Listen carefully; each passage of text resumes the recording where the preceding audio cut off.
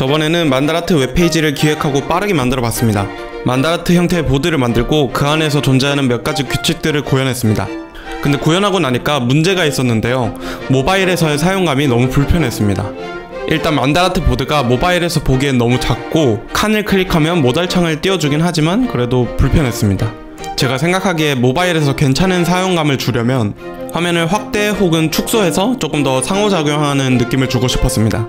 그리고 화면을 축소했을 때 현재 어디 있는지 미니맵도 제공하고 싶었고 현재는 각각의 칸들을 옮기는 건 아예 불가능합니다. 그리고 크기 조정도 불가능하고요. 그래서 해결책을 모색해야 했습니다. 확대 혹은 축소가 자유롭고 미니맵 제공에 칸도 움직일 수 있는 그런 기능 제가 이 모든 기능을 개발하기엔 중요도에 비해서 너무 시간이 많이 걸릴 것 같아서 열심히 구글링을 했습니다. 그리고 결국 React Flow라는 라이브러리를 찾았습니다.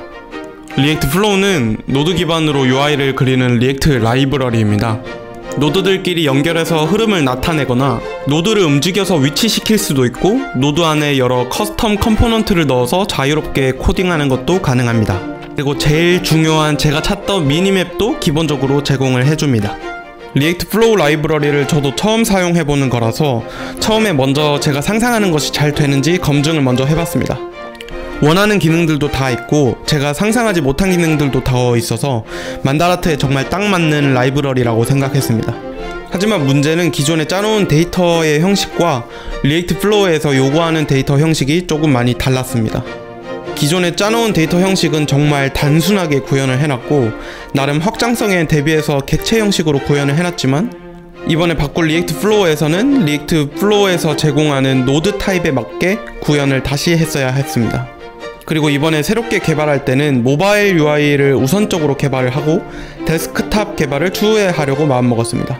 모바일을 보기 좋게 다듬어 놓으면 화면이 넓은 데스크탑에서는 비교적 쉽게 UI 개발을 할 수 있을 것 같았습니다.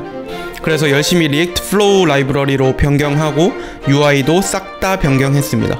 우선 기존 만다라트 보드처럼 보이게 UI 구현을 다시 했습니다. 그 다음에 modal보다는 조금 더 모바일 친화적인 drawer component를 넣었습니다.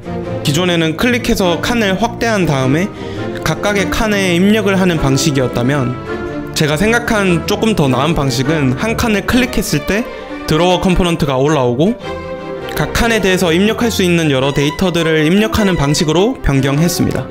추후에 각 칸에 대해서 배경색을 변경하거나 퍼센트 혹은 횟수와 같은 여러가지 타입으로 측정할 수 있도록 하려면 각 칸의 타입이라는 필드도 필요할 거라서 확장성을 열어두었습니다. 이렇게 React Flow로 어느 정도 구현도 완료했고 이전에 구현했던 기능들인 센터 칸에는 배경색을 다르게 한다던가 타이틀 텍스트는 굵게 한다던가 혹은 중앙에 있는 그룹에 입력을 하면 연관된 칸에 입력되게 하는 것들도 전부 구현했습니다. 그리고 마지막으로 이미지 다운로드 기능도 구현해서 이렇게 넣었습니다. 이렇게 클릭해서 자신이 입력한 만다라트를 다운로드해서 볼 수 있습니다.